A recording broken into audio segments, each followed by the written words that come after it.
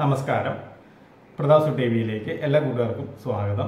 ഇന്ന് നമ്മൾ തയ്യാറാക്കാൻ പോണത് മുതിര കൊണ്ടുള്ളൊരു തേങ്ങ ചേർക്കാത്ത തനി നാടൻ ചാറുകറിയാണ് അപ്പോൾ ഇതെങ്ങനെ തയ്യാറാക്കണമെന്ന് നമുക്കൊന്ന് കണ്ടു നോക്കാം.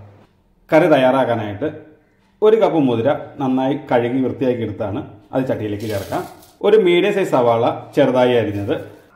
രണ്ട് പച്ചമുളക് ചെറുതായി അരിഞ്ഞത്. കാൽ ടീസ്പൂൺ മഞ്ഞൾപ്പൊടി. രണ്ട് ടീസ്പൂൺ മുളക് പൊടി.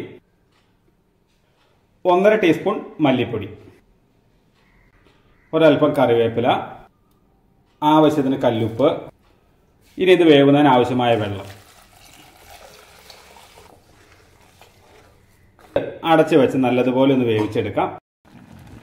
അടുപ്പത്ത് വെച്ച മുതിര തേയുന്നത് പോലെ നന്നായിട്ട് വെന്ത് വന്നിട്ടുണ്ട് കേട്ടോ ഈ സമയത്ത് അതിലേക്ക് ഒരു ചെറിയ ചെറുനാരങ്ങ വലുപ്പത്തിലുള്ള വാളംപുളി പിഴിഞ്ഞെടുത്താണ് അത് ഒഴിക്കാം. ഈ സമയത്ത് നമ്മുടെ കറിയുടെ ചാറ് പുളിയുടെ അളവ് ഉപ്പ് ഇതൊക്കെ പാകാണെന്ന് നോക്കാം. നമ്മുടെ കറിക്ക് ഒരല്പം ഉപ്പ് കുറവുണ്ട്.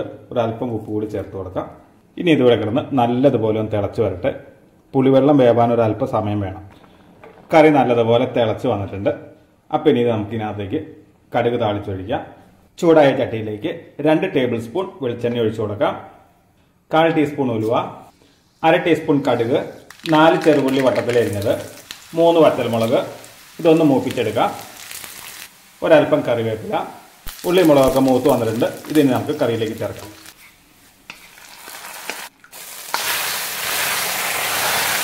അപ്പോൾ സ്വാദിഷ്ടമായ മുതിര പുളിങ്കറി തയ്യാറായിട്ടുണ്ട്.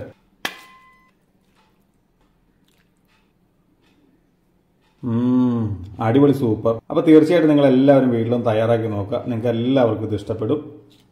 അപ്പോൾ ഈ രുചി എല്ലാവരിലും എത്തട്ടെ.